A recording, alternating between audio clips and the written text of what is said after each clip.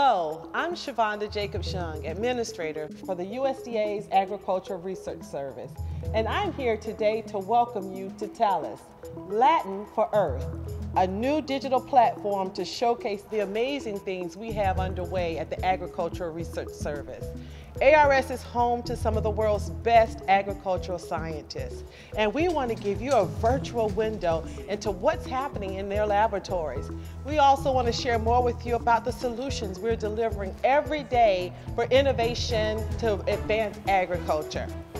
We also want to hear from you what you like. So there's going to be a like button for you to give us feedback on the things that you may want to see again or you may want us to build on more for future opportunities. It gives me great pleasure to open our virtual doors to you and tell you all about ARS's revolutionary research for a growing world. Welcome to Tellus.